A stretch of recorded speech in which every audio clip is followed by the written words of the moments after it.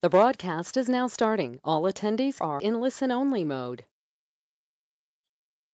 A very good morning to all of you who are already logged in to our food security webinar. We are going to wait for another five minutes because there are some attendees that will, are still waiting to get in.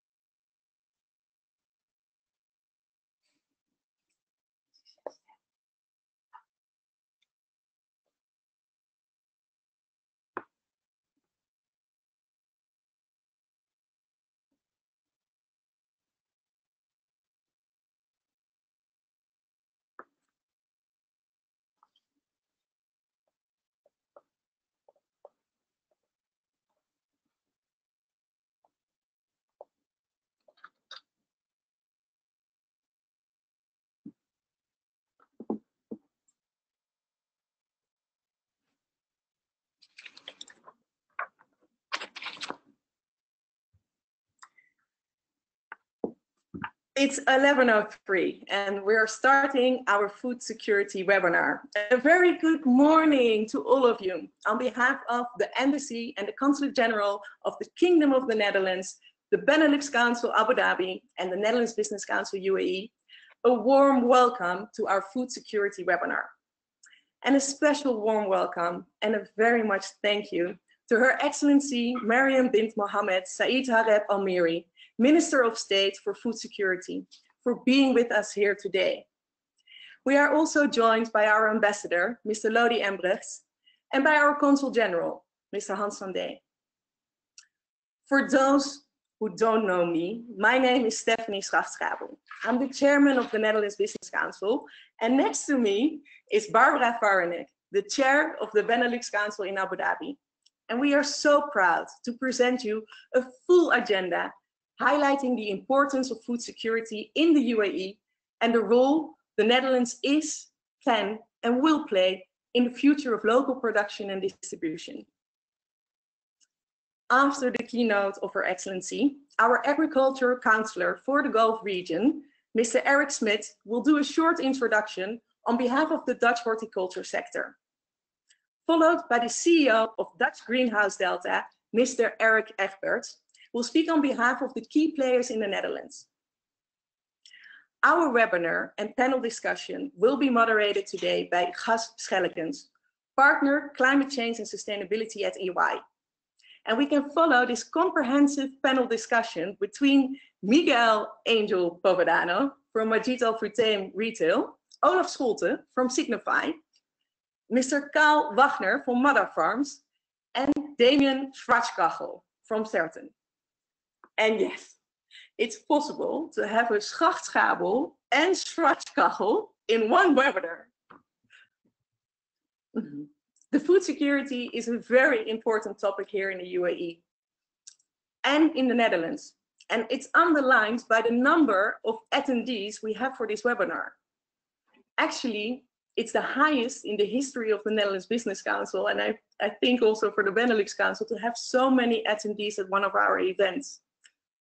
And we also received a lot of questions already by email from many from you. Today's webinar is powered by one of our members. And in the control panel on the right side, you will be able to ask questions. Now, due to the full agenda of today, we will be only able to address a couple of the panel discussions questions, but rest assured, our teams will uh, answer all those questions either by email or you can contact them directly. Um, and we will be running a series of webinars on the topics, the Nexus Water, Food and Energy. Talking about our teams, we would like to thank everyone who makes today's webinar possible, and especially Fleur Hooganting from the Embassy of the Kingdom of the Netherlands, in the UAE who worked really tirelessly to bring you the best possible content that we can give you today. Now, on behalf of myself, on behalf of Barbara, we hope you will enjoy this food security webinar. And it's our honor and our pleasure to hand over to Her Excellency for the keynote speech of today. Ladies and gentlemen, Her Excellency Mariam bin Mohammed Saeed Hareb Al Meri, Minister of State for Food Security in the UAE. Thank you. Thank you so much, Stefanie. Goedemorgen. I hope I have pronounced that correctly. Uh, good morning, ladies and gentlemen. Thank you so much for having me. And I hope everyone is well and safe. And I hope we all get through these unprecedented times healthier and stronger than before. Of course, experiencing the COVID-19 pandemic is a real eye-opener for all of us in so many aspects all around the world. And today I want to take the opportunity to shed some light on how COVID-19 has affected us in the UAE and in particular our food security. Now, this is not the first crisis we have experienced. As many of you know, the meaning of food security is ensuring that all citizens and residents of a country have access to safe, sufficient, nutritious food for an active and healthy lifestyle at affordable prices at all times, including emergencies and crises. Now, due to the uh, UAE's climate, we're a water scarce country, we have less than 5% arable land, um, this doesn't really support uh, crop growing at scale. And so over the years, we have um, built or enhanced our food security by by building the right infrastructure to become a global hub uh, for food trade. And, and now we are importing 90% of our food. Uh, not forgetting, we also cater for the over 200 nationalities that live here in the UAE. And so over the years, we have become this global hub of food trade. Um, and having these high dependencies on, um, on many of the um, uh, many of the countries bringing food to the UAE has helped us where we are today. So those of you who are living here in the UAE have seen uh, there's almost all kinds of foods from all around the world. Uh, you find them on all the shelves here. Now, going through uh, the crisis, uh, it hit us a few weeks time when we started to see a lot of airplanes uh, that, that were grounded. This was the start of where we could see that we needed to counteract um, what was happening. So we wanted to make sure that this health crisis doesn't turn into a food crisis. Um, as you can all imagine, many of our perishable um, foods come to the UAE by uh, passenger aircraft. And so uh, the airplanes that were halted meant also that certain foods were not coming to, to the UAE. And also with what was happening around the world on a, on a global scale, there were a lot of disruptions in the logistics of uh, food supply. So just to give you a little bit of a background, I want to go a little bit back in history and uh, come back to where, where we are today. When we experienced some of the crises that we went through, one of the, uh, let's say, most, like the ones that we really, really learned a, a, high lesson in was about 10 years ago when we experienced the, an economic crisis. And because of our high dependency on certain countries for certain food commodities, um, we experienced high price hikes in, for example, wheat and rice. Now, this gave us a bit of a, let's, uh, let's say, a bit of a shake uh, in, in the UAE because it showed us that this dependency was not healthy for us. And so over the years, uh, we have set up uh, national stockpiles for certain food commodities. We have built the Food Security Alliance, which is basically, it's, it's a, it consists of 14 uh, national companies that have invested heavily in agriculture production and supply chains inside and outside of the UAE. Also in 2017, the UAE appointed a Minister of State for Food Security, here with you today, uh, to uh, basically take this file uh, to the next level. Um, with that, my team and I, with all the stakeholders, we developed the National Food Security Strategy, uh, which was approved in 2018. And we also uh, established the Emirates Food Security Council, which basically is the vehicle uh, of uh, steering the strategy. Now, with that, we basically had already set the foundation. And when the crisis hit, we started to see um, the passenger aircraft stop, the uh, um, disruptions in the global supply, uh, I called for an extraordinary meeting for the Emirates Food Security Council, and I was thankful that I had this as a, as a vehicle to communicate. And we started uh, looking in of what was actually happening and what solutions we'd have to start activating um, from the strategy. Now, the strategy is composed of five uh, strategic directions, uh, which is, of course, enhancing agribusiness, um, enhancing food production enabled with technology, um, uh, Im improving uh, food safety and uh, nutrition, uh, um, decreasing food loss and food waste. And the fifth one was all about preparing ourselves for emergencies and crises. So in a way, what we're going through now is testing. Have we put all the right programs in place to be prepared for such a crisis? Now, uh, some of the things we had to uh, start activating uh, when the crisis hit was things like monitoring what's happening on a global scale. Uh, because 90% of the food is coming to the UAE, we needed to understand uh, what is what are the bottlenecks that are happening on a global scale. So we started to look into reports such as the AMIS report, the Global Food Balance Sheet, and we started, uh, we activated also the monitoring mechanism to ensure we're looking at on a, on a very frequent basis on looking at what foods are coming in on which entry points to, to the UAE to understand if we could see some kind of trends. Was there certain foods that were not coming in anymore? Was there a problem in that country? Um, also working with international organizations such as the FAO, um, uh, the World Health Organization as well to look at, and the WTO, to look at what countries have put restrictions. Uh, we were affected by some of these restrictions, and we had to sort of quickly work out uh, securing alternative sources and also communicating with our national carriers and our ports to start looking at um, alternative routes and alternative uh, countries from where we could bring certain foods. So we were working very closely through this council with the traders um, and looking at securing these alternative sources. Uh, we also made use of certain uh, repatriation flights. So every time a, a, flight would be arranged, we would be alerted about this, and then we would be able to tell the traders that they could make use of the space when the plane came back. Um, also, the leadership of the UAE were so generous to also support certain flights as well to ensure that medical and food supplies would be coming.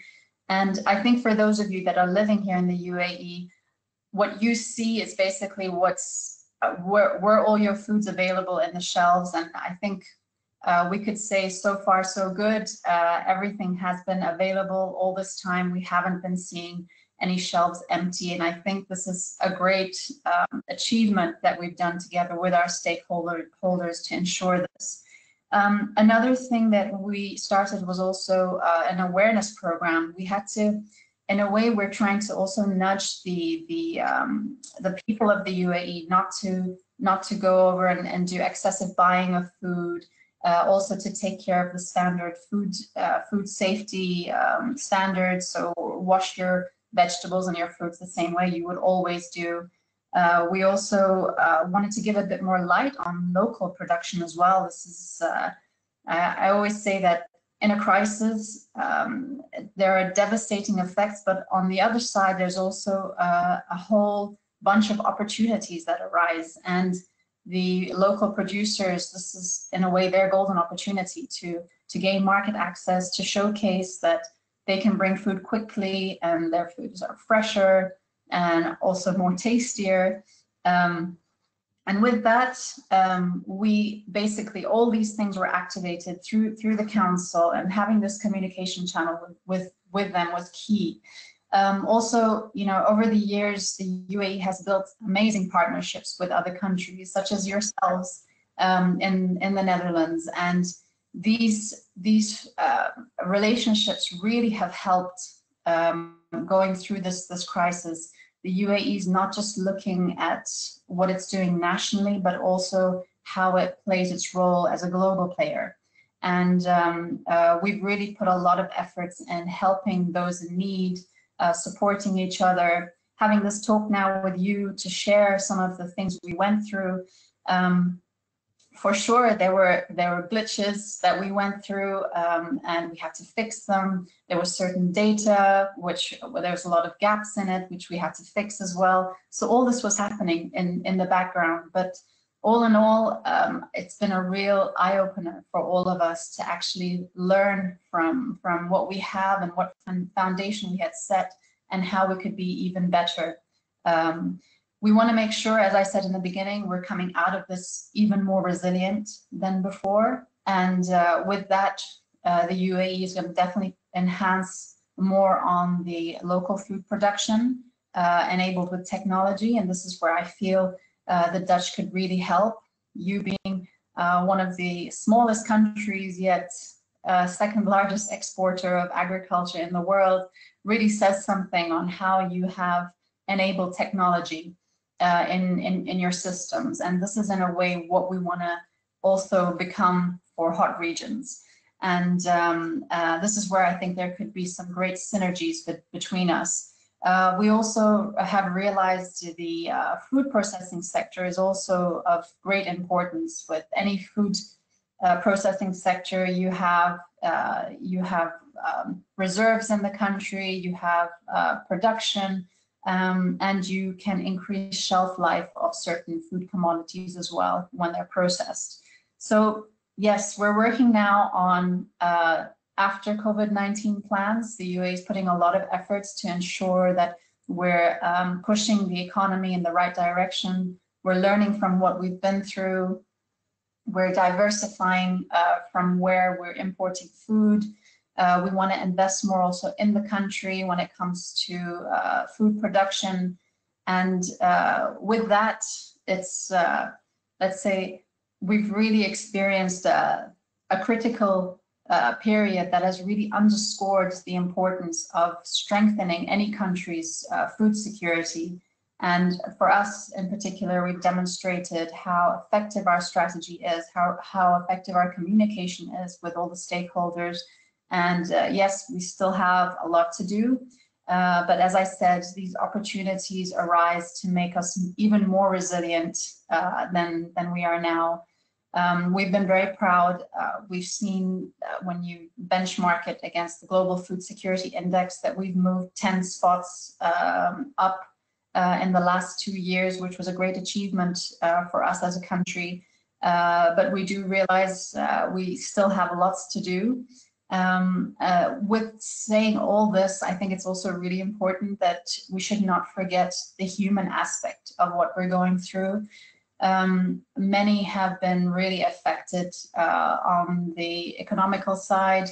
Uh, many have lost their jobs. Uh, so the point of not just access of food, but also affordability of food becomes more and more important. And it's something we're also uh, ensuring that we're uh, keeping a close eye on. I also want to take this opportunity to thank, um, yeah, all the frontliners and uh, not just the nurses and the doctors, but also also those who are working in the supermarkets, who are um, uh, delivering food to us. Uh, if if we don't get food, we won't be able to stay healthy, and we won't be able to fight this uh, this this virus. So uh, a great uh, thank you to all of them, all of them.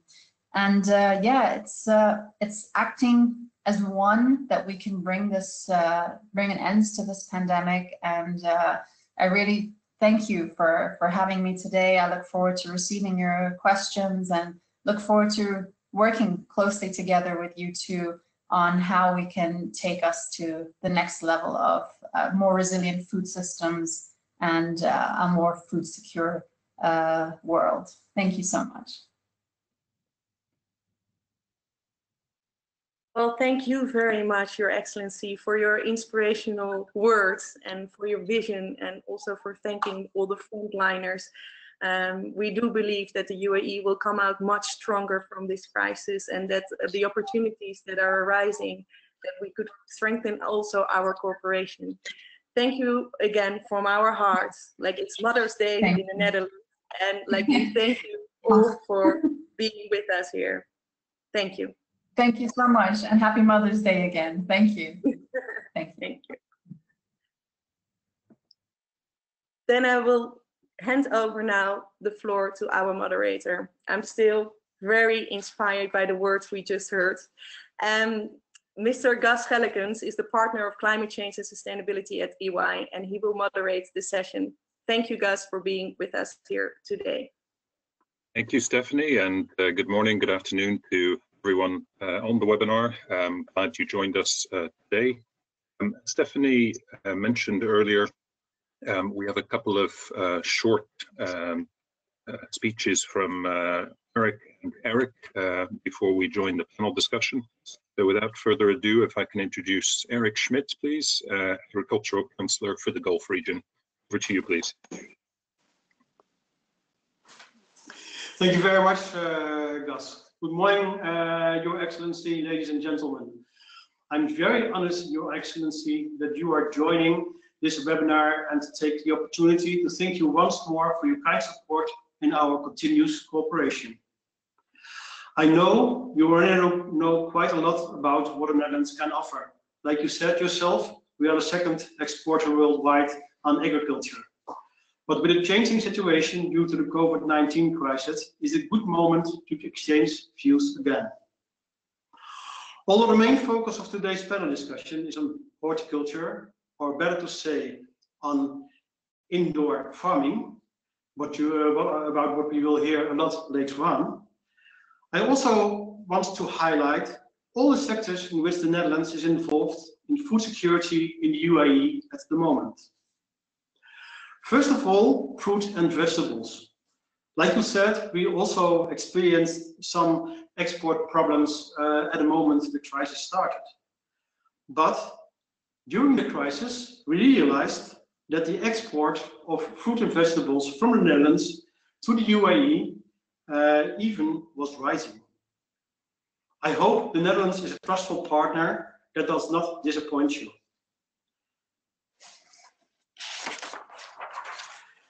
And other, uh, other things uh, in which we are good is uh, dairy milk and milk, uh, milk uh, products like cheese, yogurt, uh, yogurts, Greek yogurts, etc. You probably know about Rainbow, Abu Kos. You know it's a Dutch brand, just like some of the cheese you find in the supermarkets, the infant formula for the children, everything coming from the Netherlands, and you'll find it all over the UAE.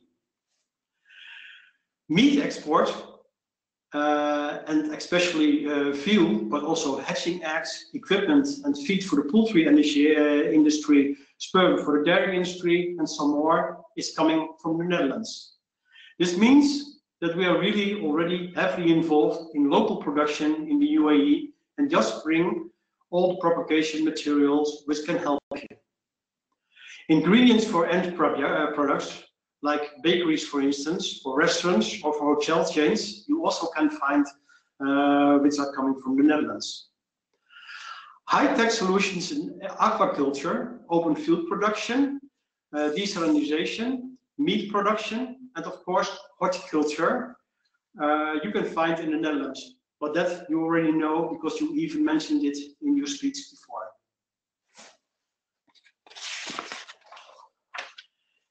Then now we are at the right sheet, I see, where the Netherlands is present in the UAE. Like I stated earlier, we are the second largest uh, exporter worldwide, a big exporter, uh, a big supporter and exporter of all kinds of food, uh, as well as export as production in the UAE. Harvesting machinery, even for dates production, and of course horticulture. Some of our companies are already for decades present in the UAE. The Netherlands is also producing in the UAE is willing, and is willing to improve this. We are a knowledge provider and are happy to increase this. The policy of my minister is it is best to produce close to the markets and not to ship the end products all over the world. Dutch companies are most willing to cooperate, not only in producing locally by themselves, but also as operators, by consultancy, BOT constructions, or BOO constructions. But like I said, also by investing themselves. Then coming back to horticulture, about which we will hear also more later on from Erik Egberts. The Netherlands can offer high-tech greenhouses, but also middle tech and low tech. Middle tech is often still more economically viable on a short time, uh, short term in the Gulf region. But in the long run, of course, high tech is better. But as, as I said, the next speaker, Erik Egberts from Dutch Greenhouse Delta, will probably tell more about uh, will tell, probably tell more about this. Then for vertical horticulture, the two companies in the panel discussion are the real specialists on this. So I think we will hear from them more about this. And as they are there, you know the first projects already started in UAE. Then the seed companies. The ministry, uh, no, sorry, the majority of the biggest seed companies uh, in the world are Dutch. They are coming from the Netherlands, and we are proud of this. Then biological, non-biological control. You know there are three companies in the world uh, which are great in biological control, but there's only one which is the best. And that one is coming from the Netherlands again. So more or less, you can see we can help in all these kind of uh, things uh, and are already active in the UAE. But let's come, let's come back to horticulture. Of course, the stories you will hear are just from some Dutch companies, although Dutch Greenhouse Delta represents quite a few, but the Netherlands has more, which your excellency hopefully will meet later this year at GFIA in Abu Dhabi or GreenTech in Amsterdam, which exhibitions also welcome everyone joining this webinar, of course. By the way, Your Excellency, we are very happy that you, inshallah, will join GreenTech later this year, even will open it. Today, however, we already can listen to success story on UAE Netherlands cooperation in horticultural production in the UAE. Thank you very much.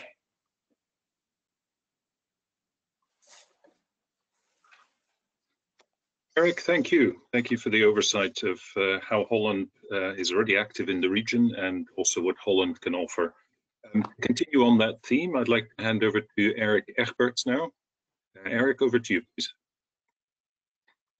Good morning. Good morning, Your Excellency, the Minister, and all the all other guests here at this webinar. My name is Erik Egberts. I'm the CEO of Dutch Greenhouse Delta, an international platform with state-of-the-art partners in the horticulture industry here in Holland.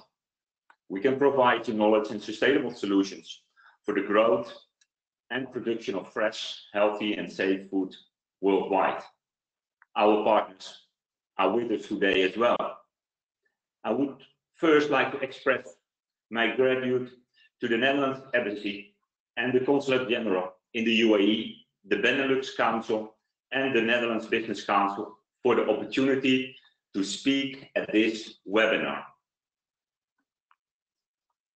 Please turn the page. The world is facing a lot of challenges regarding food security, food safety, especially in this current time during the COVID-19 crisis.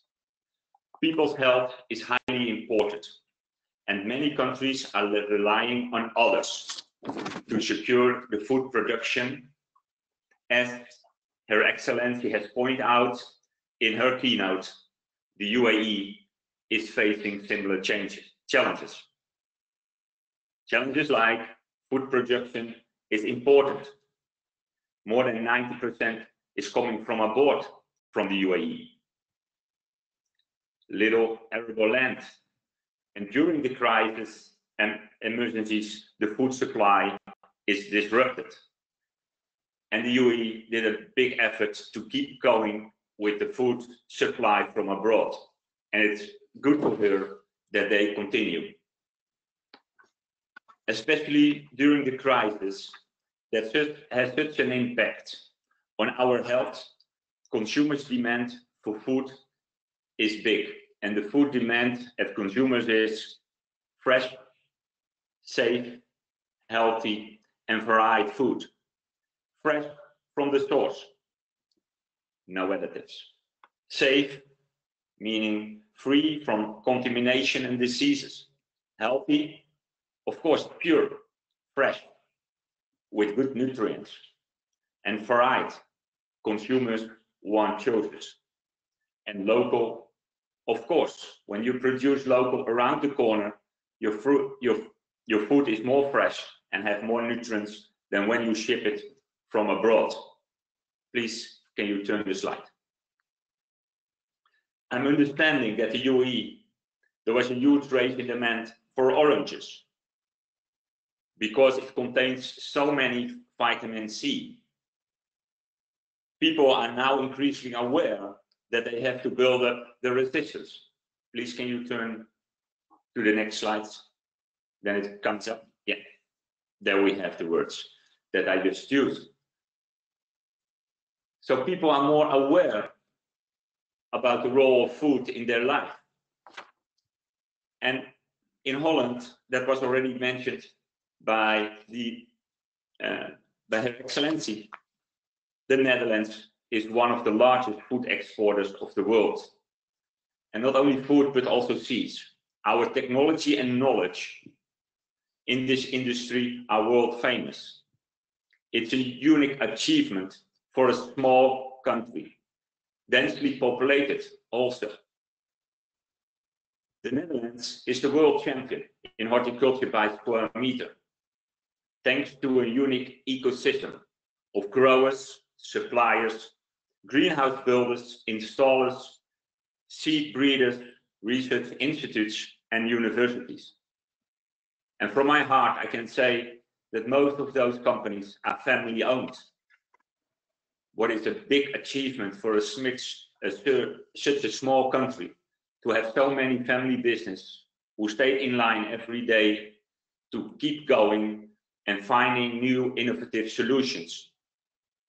For centuries, we have working together in cooperatives or other collaborations to bring food production to a higher level. I think the Dutch have found the word cooperative.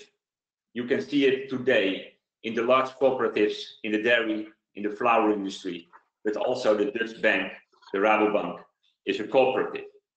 Cooperatives are in our heart every day. I come back on the cooperative later. However, in order to tackle the problems facing the world, we need um, we need to join forces with our partners of the futures we as a Dutch Greenhouse Delta would like to explore with the United Emirates how centuries of the Dutch knowledge and chain approach can support the country's vision to achieve the goals and deliver fresh and healthy food. With our partners, who represent the entire food chain, we offer solutions to make food production in the UAE sustainable from fork to farm with retail and consumers needs at a starting point. We translate this into sustainable production, facilities and logistic implementation, because it all starts at the consumer side. If we can bring good food to the consumer and we know what they want, we can to set up the best solutions to produce it. And we do that with our knowledge. And it is our aim at making the most efficient use of raw materials, water, energy, and with the highest possible yield, of course. Growing fresh, safe, and affordable and healthy food with nutrients that can contribute to a healthy lifestyle. And that point that was made by Her Excellency on affordable is what we find in many countries around the globe. In any case, what this crisis has taught is that health comes first, that obesity, diabetes, and heart problems are a major risk factors and can largely be prevented with a healthy lifestyle. The Sustainable Development Goals, good health and well-being is one of our key drivers. We believe it's also highly important that all the citizens, whatever their nationality, also in the UAE, needs to have access to good and healthy food. Your Excellency, distinguished guest, that brings me to the Sustainable Development Goal number eight, decent work and economic growth. Working on the food supply chain is something where you make a difference, where you are great value in carrying the present and the future generation. Yes, this is the right slide. Thank you. And future generation. Whether it is a sustainable greenhouse, an indoor farm, or a cold chain, the sector provides high quality jobs. Whether you work with robotics, artificial intelligence, or fields of research, it's rewarding work in a robust system for highly and practical education for people, for men and women, for young and old, year round. It is nice to work in the horticulture industry. And I'm doing that already for more than 25 years. Coming from a farmer home, I'm still working in the horticulture industry. And I'm proud to do that because it's nice work. It's international and very, very high level artificial. So we have to bring that to the youngest people, also in the UAE, that working in horticulture is good, give you a good living. I want to go to slide number seven, please. People need to live in sustainable cities and communities. Making cities sustainable means creating careers and business opportunities, as I mentioned, safe and affordable housing, and building resilient societies and economies, but also about resilience. Cities and communities need to rely on resilient food systems and an open infrastructure what is based on cooperation. In those food systems, we must take sustainable production into account, especially in order to keep those cities livable. When it comes to clear air, energy, and challenges of water use. Here in Holland, we live with water. We have enough water, but still we have to take care of it. And we are used to do that also around the globe. We would like to help the United Arab Emirates to ensure sustainable consumption and production. What footprint per capita does the UAE aim for when it comes to natural resources? Let's work together and find answers and bring the best solutions. Slide number nine, please. Your Excellency, I would like to address my last words of my speech to you personally. We met before, very briefly, about the Sustainable Development Week earlier this year. At this time, I think we had no idea what was ahead of us. And you just mentioned it's a hard time, but you see a lot of opportunities. And I, in your words, I hear a lot of courage and I see a lot of uh, brave to, to come over those very difficult times. Our horticulture industry would be honored to work with you and the Food Security Alliance, which you mentioned again. We would like to partner with them when it comes to the UAE goals and ambitions. And of course, all the opportunities to produce fresh, tastier and nutritious food.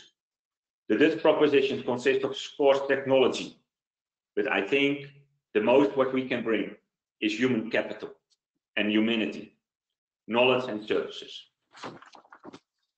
Thank you very much for having us today in this webinar, and I'm looking forward on behalf of my team to take further steps together in the near future. Thank you very much, Your Excellency.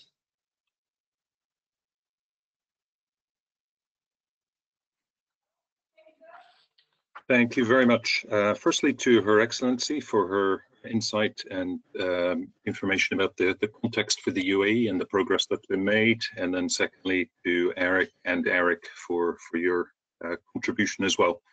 Um, what I'd like to do now is to uh, ask my panelists to join me uh, on, on screen. Um, if, if, I could ask uh, Miguel Angel Povedano, uh, Kyle Wagner, Damion Schwarzkachel, and Olav Scholte, please. Uh, good morning, everyone. Um, we have had a very good introduction to the challenges that we're currently facing, uh, not just in the U UAE, but also globally. Um, we've heard about the progress and the planning that the UAE has undertaken to make sure it's prepared for the challenges that we face at the moment. Um, there's also opportunities, I think, lie ahead. If anything, um, the pandemic has done is, I think, slowed a lot of us down. We're not rushing around as quickly as we were before. We have time to look at things. We have time to uh, assess and perhaps change the way we, we do some things.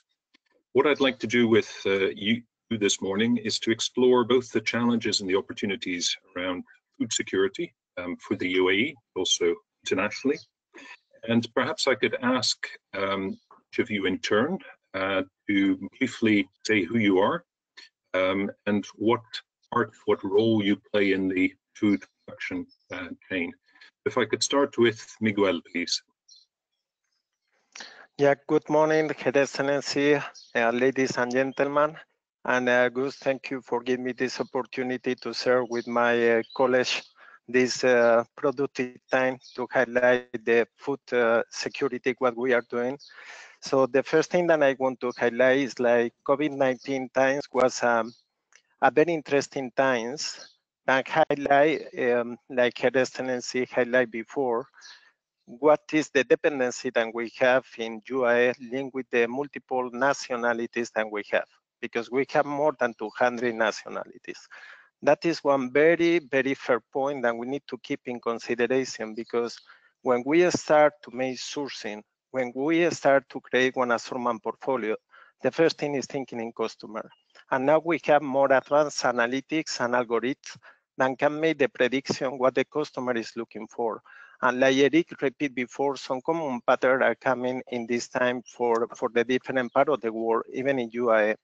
Like today, the, the food security sustainability values is more and more important for our customer. We have the proof in our own algorithm because as you know, in Majid Al Futtaim and Retail Carrefour, we have more than 88 million customers per year. and that is something that is happening before the people thinking we are what we eat and not the people thinking we are what they eat. So the localization versus international need is very important. And in the diversity of the countries that we have in Majid Al Futtaim, that we are present in more than 16 countries, the dependency from the local agriculture is pretty different. For example, in UAE, the local uh, agriculture represents 20% in the total procurement. Why? Because one of the things is like we have 200 nationalities. However, if you go in other countries like Egypt or Saudi, it's 60, 70% the local industry. One of the major challenges that I find in these COVID-19 times was linked with the supply chain. The visibility that Erik highlighted before to then end-to-end value chains in supply chain is key for the future in front of this kind of pandemic that have less dependency for the import. At the same time, then of course we can do more production with international suppliers and apply the highest standards in quality than we have in UAE because UAE, a country's level standard than we have in quality is at the level of Europe. So to develop the local industry in this direction, in my point of view, is some keyword that I want to highlight, that is the tech. Tech solution and comparison between government, retailers, and farm. When the tech will be key. And one example is what we are doing in Majid Al Futtaim linked with hydroponic solution hydroponic solution is only the beginning, but you can generate the big production with 90% less square meters than you have in one traditional farm and 90% less resources like water. All these kind of, of solution in countries like the weather is very complicated factor in summer is key to find solution and have less dependencies. That is the, the, the, the global theme that I want to share with you. And into the supply chain solution, in the fruit and veg market is extremely important to what will be your supply chain, what will be your distribution center, because the different kind of product need different temperatures. And to guarantee the right delivery to our customer, we need to be very fair in all that. So I know that after our, our college will discuss more in how we can do, and I will have more, more ideas and possible solution for, for all of you. But of course, supply chain is one of them. And our objective in UAE is to pass the 20% local production to 50, 60% in the next five years. And for that, we are working very near to the government, extremely near. The government introduced to us in the next, in the last uh, uh, month and a half, more than 500, 600 uh, small and medium companies uh, uh, from UAE. And uh, with them, I can tell you that in the last two months, our growth in the local production is growing the 65%. So is possible? My answer is yes. Is necessary? My answer is yes. Thank you. Perfect. Thank you. Thank you. Um, Kyle, if I can turn to you for just a quick introduction and to say uh, where you're involved in the, the food production process. Sure. Good morning, good afternoon to all who join us today. And big thank you as well to the Dutch Embassy and Her Excellency for joining us on this webinar. Um, I'm quite happy to hear what Miguel was mentioning about the need for the urgent uh, local suppliers, because that's exactly where Madar Farms fits in. So I'm the head of operations for a fairly young company here. We were founded about three years ago. We're an ag tech company. In other words, we are modern farmers. That's something very exciting for us because we do believe that farming in the UAE does require modern technology to make it both commercially viable and more sustainable, considering uh, not just food security, but also water security challenges. In fact, our company was actually founded by a local partner based on the urgent and important need for addressing water security challenges here. So to address that, we're primarily using controlled environment agriculture, in other words, growing indoor farming with vertical systems as well, which minimizes our need for water in this very harsh environment. Perfect, thank you. Um, Damion, can I turn to you? Sure. Uh, thank you. Well, good morning, everybody, at this Mother's Day, and uh, I'm looking forward to this uh, webinar and this discussion.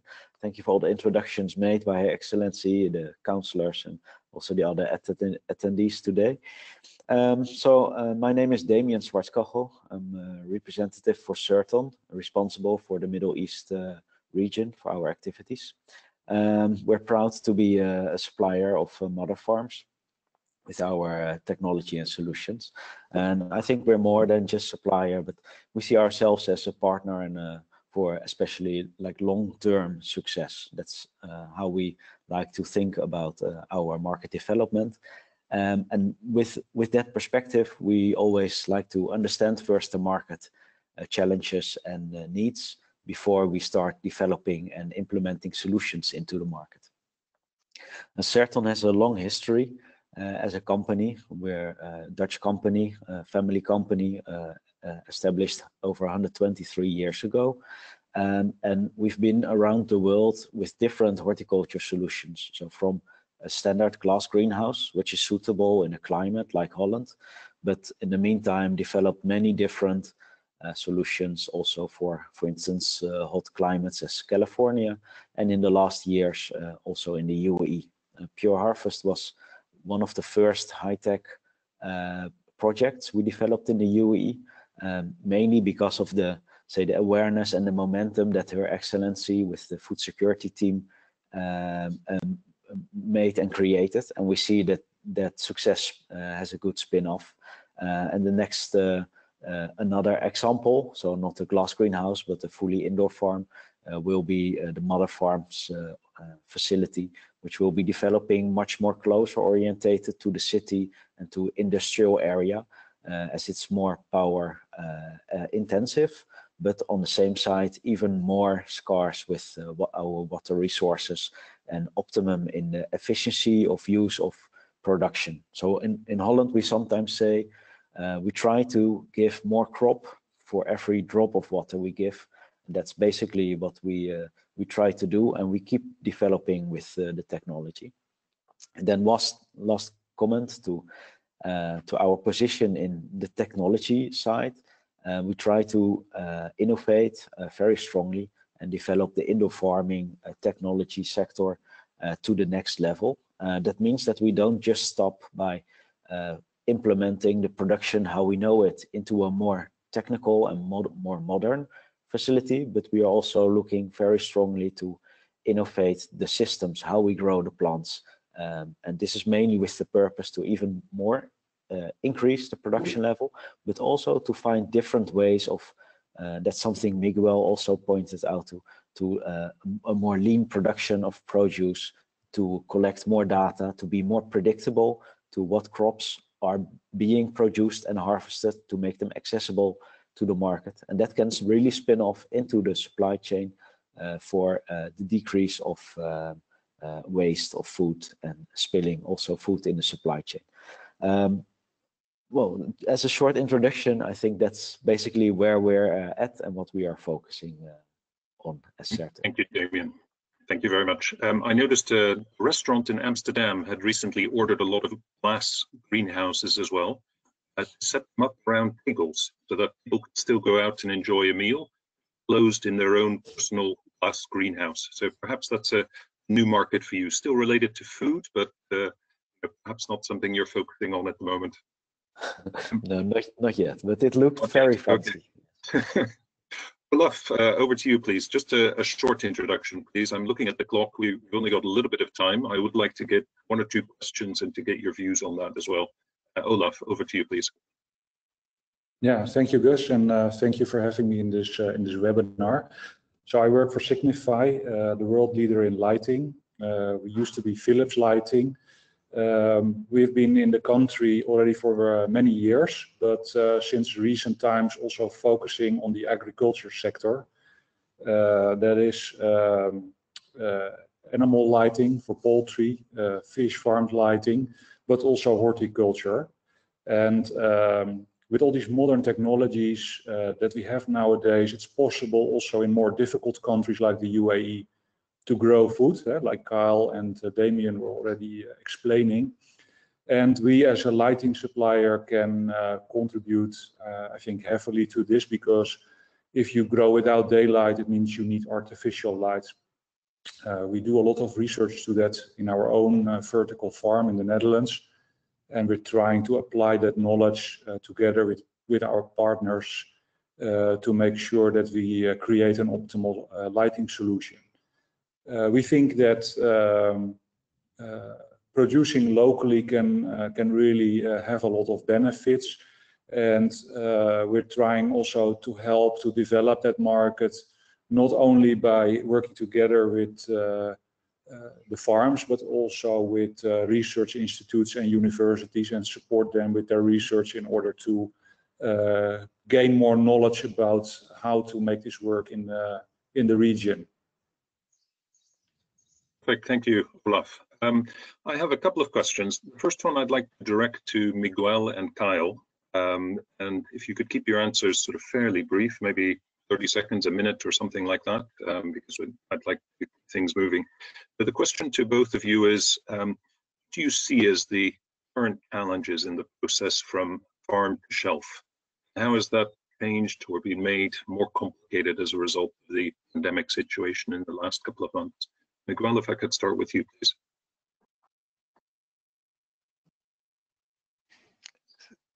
So, Kyle, did you can you start because I, I didn't well understand the the question. The song was not very good. Okay, sorry. The question was um, from where you are sitting. What do you think the current challenges are in the process okay. getting food from the farm to the shelf, um, particularly in terms of quality, price, supply? How has that changed or become more difficult? What are you doing to address that? Okay, so thank you for the question, Gus. So the major challenge that I that I find in many of our countries for for guarantee that the local source in uh, agriculture will be a, a, a, real resource for all of us is linked with the complexity for the weather the highest standards quality that we keep in countries like Qatar or UAE in the way that really the efficiency for the for the new tech and the production be at the level of the international standards. That mm -hmm. is mm-hmm. one of the things that I did because, for example, in UAE specifically, we have um, a lot of solutioning with the new tech for the veg, but for fruit is much more complicated. We have for strawberry, we find solution. For many of the other fruit is not yet here. And in many of the cases, we are pretty good and very efficient and very um, competitive in the entry prices. However, we need to escalate link with the customer expectation about organic, bio solution, etc. We need to escalate the step by step and give really training. And I think one of my colleagues, I think Damion and Olav before highlight, made training to the people in the farms to guarantee that the standards will grow at the level of the international retailers we need to have. I think that is one of the key things. The second thing is the new tech linked with the few resources that we have, like water dependency and all this kind of thing. If we find solution for that, and we continue to, to working together, government, tech companies, and retailers for go much more directly in vertical organization with the farm, with much more, um, how I say that in polite way, we need even the retailers to be very fair with the farm in the way that when we go with them, we need to have much more facilities. No contract like international than we have contract condition for one year. With this kind of farm, we need to sign contract for three, five years and compromise the production together. That is the right way. Then the people invest in tech and the tech amortization will happen. Because one thing be, uh, behind all that is that we are business. We need to achieve the efficiency for the ROI, not be degraded for the different stakeholder. That is my my view. Okay, perfect. Kyle, I'm interested in your view. You're obviously a, a, local producer. How, how do you see things and what, what have the challenges been? Yeah, so during this uh, recent crisis, I think one of the biggest challenges for us was the shift in consumer preferences because actually the behaviors were interrupted. Uh, whereas clearly we were more aligned with the uh, F&B in the restaurant business before, that uh, demand side basically evaporated overnight, which was a major challenge for us and a lot of many local growers. So the, the challenge was really uh, was maintaining uh, the farm to fork principle is the forks change location, we can say, right? But we're working through that now, and that's actually going to strengthen us going forward because as we scale up, we'll be able to reach more customers and more be more diversified in terms of our risk. I think one of the key things to bring up here again is that in this pandemic, the UA had the foresight and the vision to put some long-term plans in place. And what that meant was that the distribution side for us was not drastically interrupted um, of the many critical sectors who were exempted from the earlier kind of lockdown effects, agriculture was one of those. So we were able to keep our supply chain operating on the outbound side, the inbound side, et cetera. So that's a really, again, a key strength. The UAE government supported us on that as well. And finally, because we're growing in a controlled environment, the hygiene practices for us basically went on more or less unchanged. We didn't have to suddenly implement sanitization procedures, hygiene protocols, because these things are fundamental when you start talking about growing indoors in a CEA environment. That's great. Thank you, Kyle. I mean, it's it's nice to hear what's happening behind the scenes. For most of us, we show up in the supermarket and the food is there, but don't really understand the story behind the food sometimes. Um, Damion and Olav, I'd like to turn to you and, and with a particular focus on, on knowledge and technology that Holland has built up over many, many decades around food production. Um, what, what, what else can technology do? And how far can technology go to really help deal with some of the challenges that we're facing in the pandemic situation at the moment. Um, Damion, if I can start with you, please. Yeah, um, I, I, think the technology uh, um, helps us, uh, say, making the food production less vulnerable to interruptions. So basically what we've been looking for the last years on developing is uh, to put in place year-round production systems that really can produce uh, top quality produce anywhere in the world. So it doesn't matter whether you're on the North Pole, but fortunately there's no consumers there. But uh, for instance, in harsh climates like the UAE, there's a large consumer demand, uh, like Miguel mentioned, with a high quality standard. Uh, so we need to be able to supply the, say, Western European style of uh, quality level from local sources. So that's, say, the basic technology. I think the next step of the, what technology will uh, enable uh, will diversify in two directions. One direction is the advancement of knowledge on how to grow and also how to steer plants and fruits in improvement of nutrients um, and also yields. Um, and second uh, direction is the uh, the less uh, dependency from labor. So implementing more robotization uh, into the crops. Uh, we recently joined at a joint venture with a, Japanese company that comes from Denso. It's called. It comes from the auto industry. So we're implementing robotization uh, from other industries into horticulture uh, with rapid pace now to be able to, for instance, uh, pick tomatoes in the future mother farm facility uh, with minimal labor resources. And that makes also the food production less vulnerable to, say, an example as the crisis that we have now. Yes, it's an extremely important point. Where I sit in the UK, of course, the UK is suffering from um, sort of local um, laborers who come in the fruit at the moment. So there's a big worry with farmers at the moment that a lot of their crop will just be wasted in the fields because it can't be picked. Um, Olav, what to you? Um, what can technology bring? How far can you know, lighting and um, technology around lighting help in, in the current situation and going forward? Lighting has uh, been going through a breakthrough in terms of efficiency in the past, uh, let's say, 10 years uh, with the introduction of LED technology. I think especially growing in multi-layers uh, requires a very efficient solution to reduce the addition of heat in a farm uh, because that, uh, that helps then, of course, climate control so we're continuously working to optimize on the, the spectrum uh, to, uh, to develop uh, better crops and reduce the energy consumption.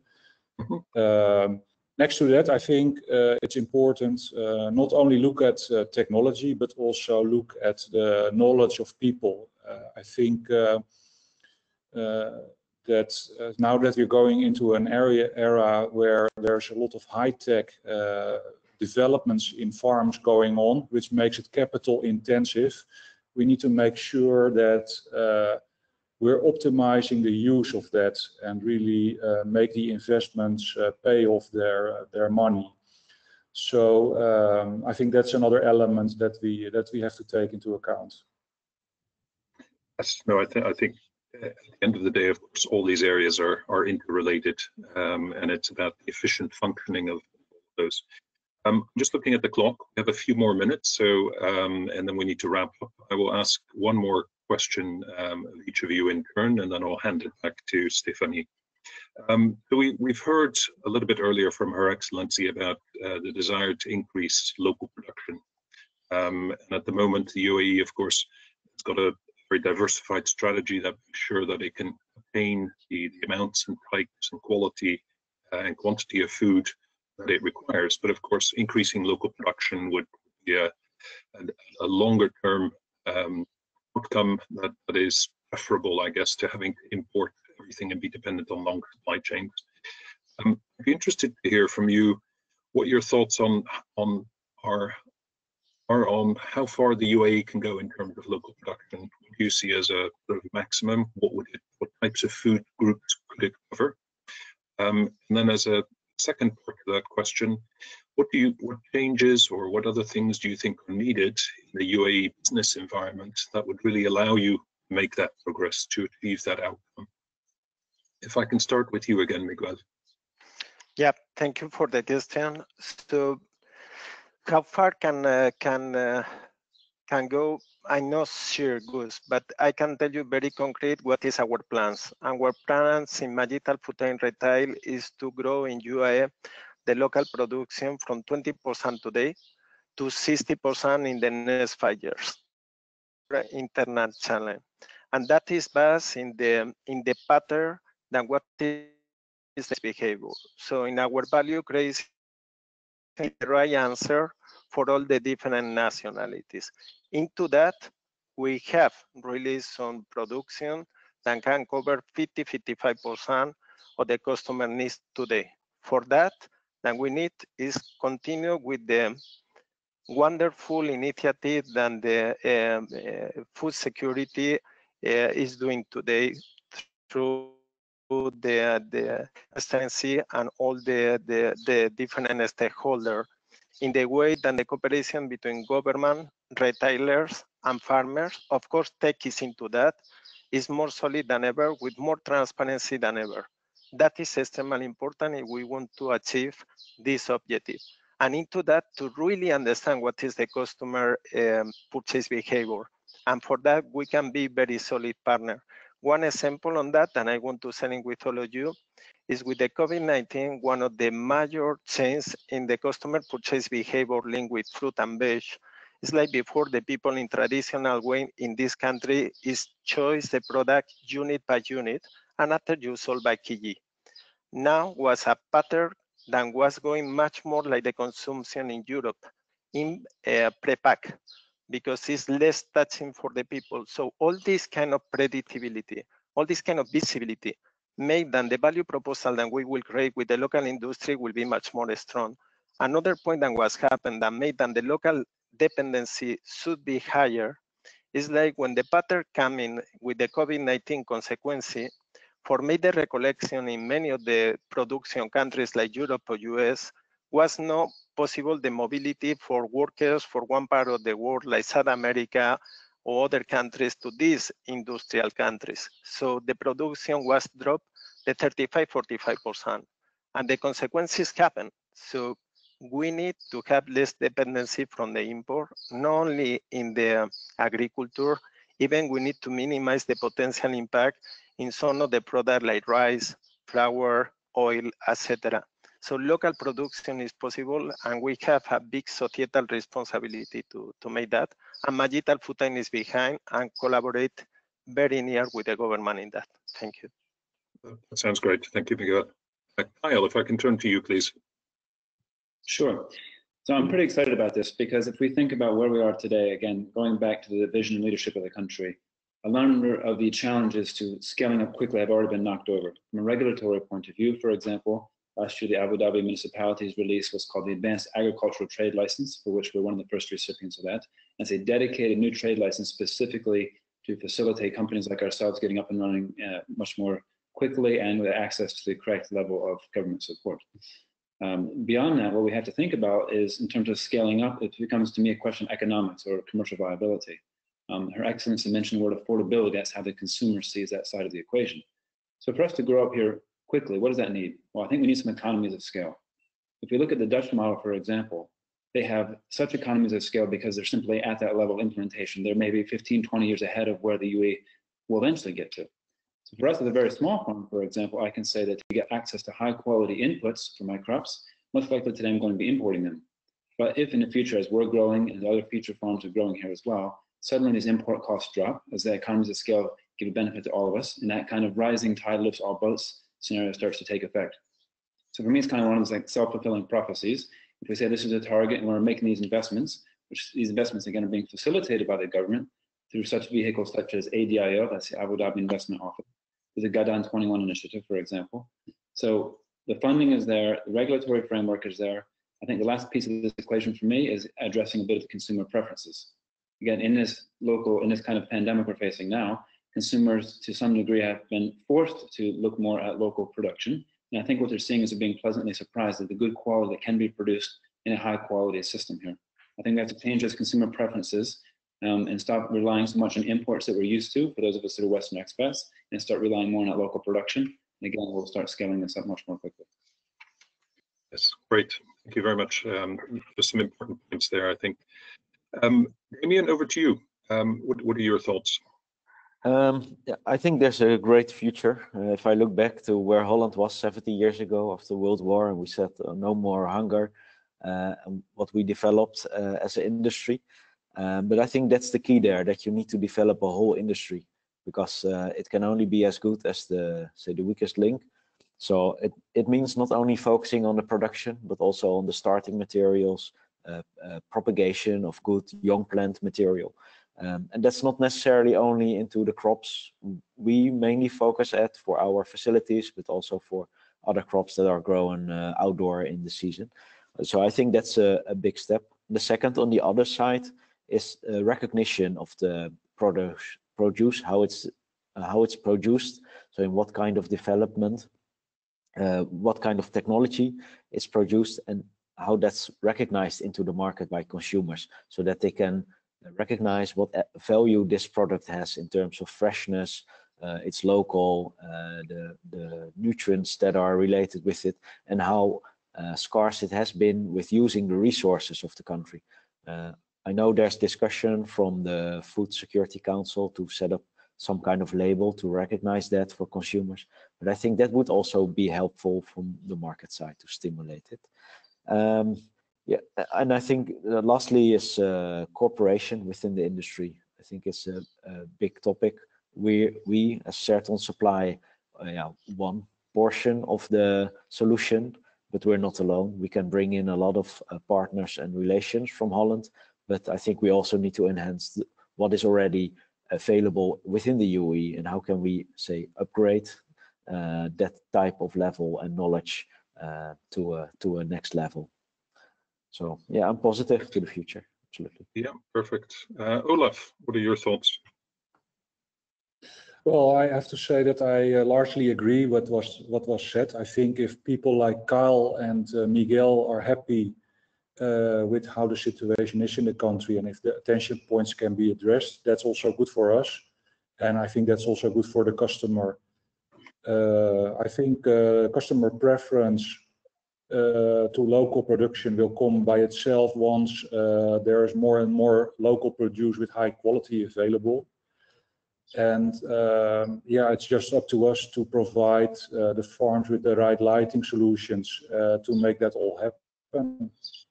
And uh, I would like to take the opportunity also to mention that uh, on May 20th, we will do a dedicated webinar on lighting for uh, horticulture in vertical farms.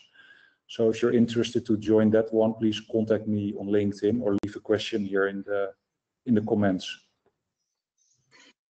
Oh, perfect. Thank you. Um, we are sadly coming to the end of our time. In fact, we've overrun slightly. Uh, we could talk for hours. It's a subject that I think um, we, we could all do with understanding more about. Um, we've heard some interesting um, feedback from, from my panelists, both in terms of their views on uh, what's needed to scale up uh, local food production.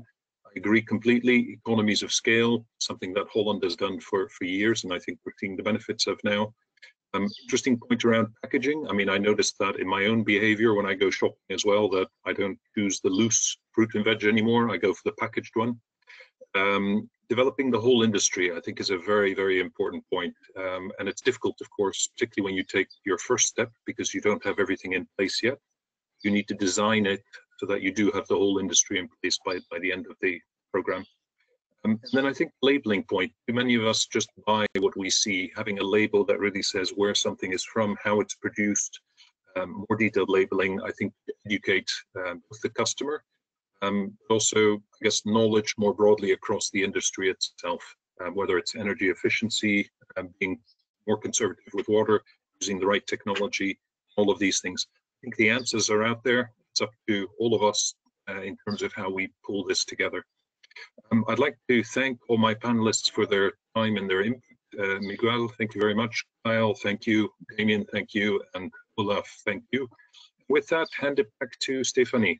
Thank you, everyone. Thank you very much.